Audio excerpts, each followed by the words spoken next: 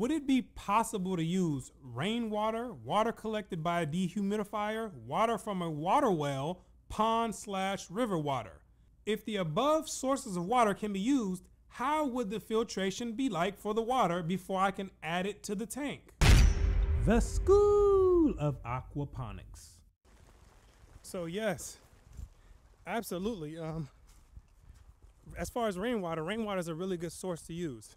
Um, it doesn't contain any minerals in there, so you pretty much have a fresh, uh, fresh water that you're putting in your uh, aquaponics system. You can see it's raining right now. Um, so I would love to have some of this water inside of my aquaponics system, but it is inside of a greenhouse, so I won't be getting any of it. But um, it's a good source though. But the only bad part about um, rainwater a lot of times is, is that you actually have to wait for it to come. See, here in Florida, we've been having a drought uh, from the past uh, spring all the way up till now. We haven't had really had any rain, so this is like the second time that we've had rain for the past four months, which is crazy. It's like a um, uh, a record of how long it's been since we've had any rain. So it's looking a little dry out there. Out there with the, uh, the people who are out there doing the back-breaking soil work, it's not looking too good. But in the aquaponics system in here, woo, we're doing good because we have well water, which leads me to the next source of water that you asked about. Well water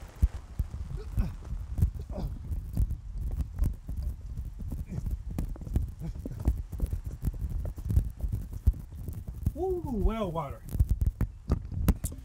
So well water, um, perfect source. It's a great source, um, and it's it's probably the preferable method of um, adding water to the system. Um, it's it doesn't really have any type of uh, biological activity going on, meaning there's not going to be not going to be any pathogens that are going to be um, released into the water. So that is a one thing that we're definitely going to be uh, uh, wanting to have in our aquaponics system. That's what we use here. We use the well. All type of well stuff going on. You know, I have it hooked up to the main aquaponic system. So it's on automatic mode. So the, the water just distributes whenever I need water inside of the, um, the system, whenever the system, the, the level water goes down.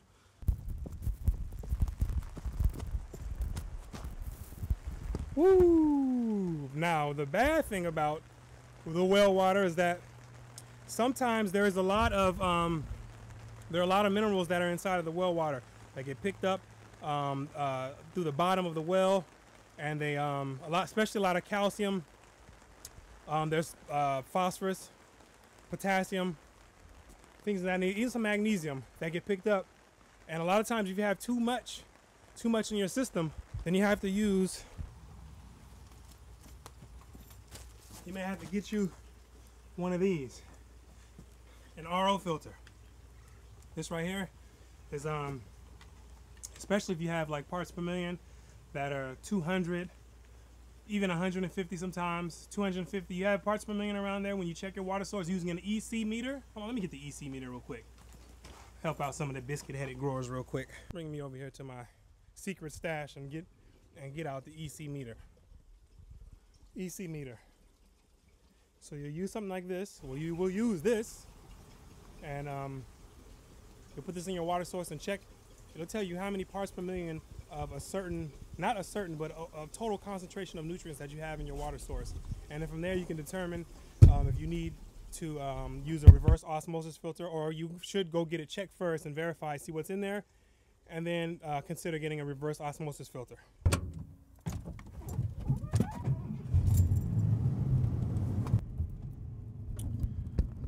Now, in regards to the dehumidifier, hold on. Ooh, it's humid out here right now. So we can definitely pick up some dehum dehumidified water right now. Woo. But you can use the dehum you can use dehumidified water. I don't see an issue with using dehumidified water. But the only thing is the amount of electricity that it's going to run you to use uh, a water. Well, it depends on how big your system is. If you're using a, a, a, if you have a large system and you're depending on dehumidified water, then it's probably going to be a lot. It's probably going to cost a lot um, as far as electricity goes. Um, and you're probably better off doing some other technique like just harvesting rainwater or just using um, well water. That would probably be the better the better option. So that's the only that, that would be the only uh, issue that I see with dehumidified water is the cost.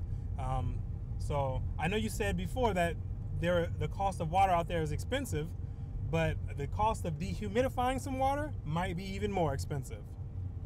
Woo!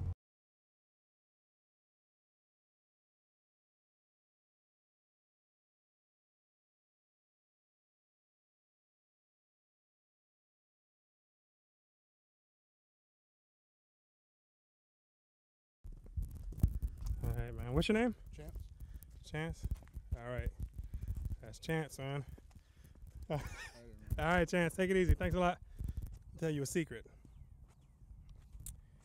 The aquaponic guy gets love everywhere he goes.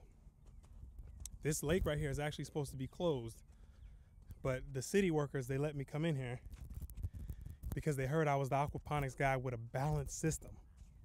They said we don't allow biscuit-headed growers in here, but for you, we heard you got a balance system. We'll go ahead and let you in. So this actually is supposed to be closed. That's why there's nobody here. Nobody here right now. Usually this thing is packed. So they let the aquaponics guy get in here so I can go ahead and produce some content for you guys. So the pond. So as far as the pond water goes, this is something that I just I wouldn't use. I would not use the pond water. The reason being is because especially places like this, pond places like this, we have all these people jumping in here. You have all type of uh, uh, organisms inside of here, and there's different type of um, uh, um, wha- uh, what's the word? I can't even remember the word right now. What the heck is the word? Um, pathogens inside of here, and that's definitely not a good thing. You don't want to be introducing foreign pathogens inside of your aquaponic system. That's one of the a- good way to um, to cause fish disease to uh, outbreak and infectious disease to outbreak inside of your system. So this is something I, I wouldn't recommend. All the different type of pathogens, the different type of diseases out here. So it's not something, and it wouldn't. I, I wouldn't even say it would be even considered something that's worth um, even trying to filter. It's just not worth it. I would use a different. I definitely use a different type of method. Can you do it? Absolutely, you can do it. The biscuit-headed grower can figure out anything. You can make anything work. Absolutely, you can. You can. You can figure out a way to do it. But you know, it's just not worth the time. It's not worth the time or the effort, and it's not worth the risk. In my opinion, the aquaponic god's opinion, it's not.